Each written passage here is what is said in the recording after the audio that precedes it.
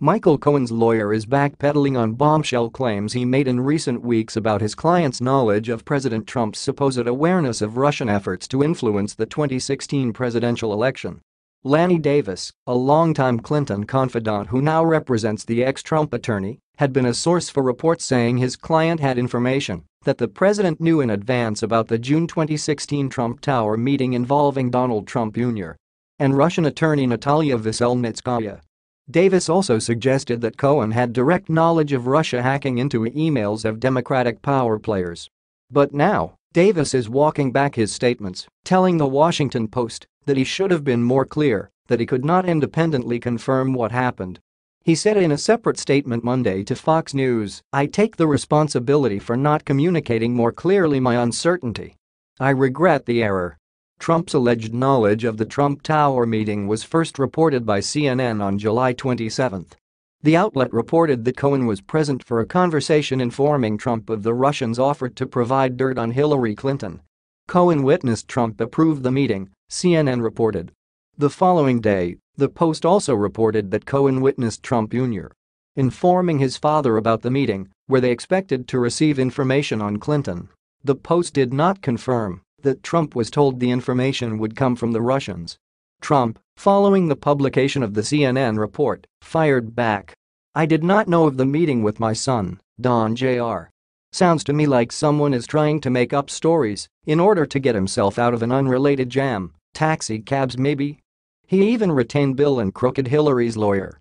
Gee, I wonder if they helped him make the choice. Trump tweeted on July 27. Over the weekend, Davis clarified his claims. I should have been more clear, including with you, that I could not independently confirm what happened, Davis told the Post this weekend. Davis began walking back the allegations days earlier when during an interview with CNN's Anderson Cooper, he was asked whether there was evidence that Trump knew about the meeting before it happened. No, there's not, Davis said. Trump, again, maintained that he knew nothing of the meeting beforehand and blasted the reports as fake news. Michael Cohen's attorney clarified the record, saying his client does not know if President Trump knew about the Trump Tower meeting, out of which came nothing.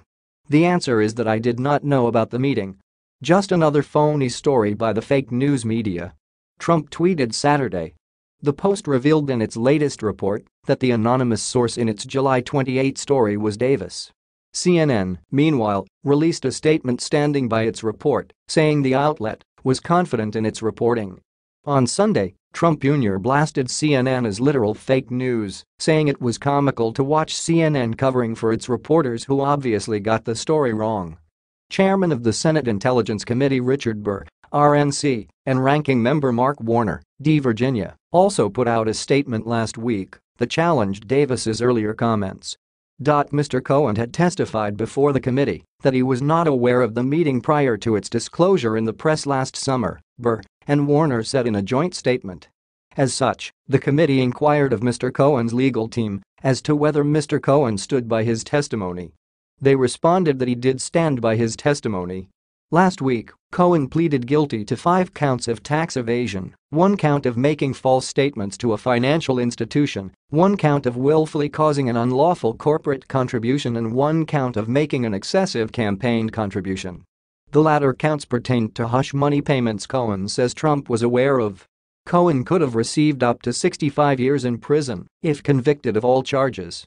However, as part of his plea deal, Cohen agreed not to challenge any sentence between 46 and 63 months. After the plea deal was struck, Davis also suggested that Cohen would be willing to interview with special counsel Robert Mueller as part of his investigation into Russian meddling and potential collusion with Trump campaign associates in the 2016 presidential election. Further, Davis suggested that Cohen, a former Trump Organization attorney for over a decade, knew about Russian hacking of Democratic emails. I believe that Mr. Cohen has direct knowledge that would be of interest to Mr. Mueller that suggests, I'm not sure it proves, that Mr. Trump was aware of Russian government agents hacking illegally, committing computer crimes, to the detriment of the candidate who he was running against, Hillary Clinton, Davis said last Wednesday on PBS apostrophe NewsHour but over the weekend, Davis told the Post that he is not sure. There's a possibility that is the case. But I am not sure. I was giving an instinct that he might have something to say of interest to the special counsel about hacking, Davis told the Post, but acknowledged I am just not sure.